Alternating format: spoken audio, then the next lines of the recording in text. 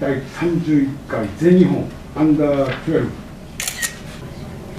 今まで練習してやってきたことを全国大会でもちゃんとやってややればややろうと思います。はいありがとうございます。頑張って保護者うん。に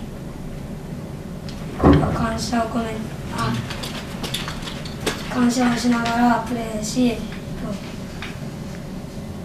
優勝を目指して頑張っていきたいです。そうですね。じゃあく黒川君キャプテンはい。どうぞ仲間やコーチや監督が教えてくれたことなどをみんなで協力して優勝へ目指せるように頑張りたい。です。はい。はい。優勝するぞ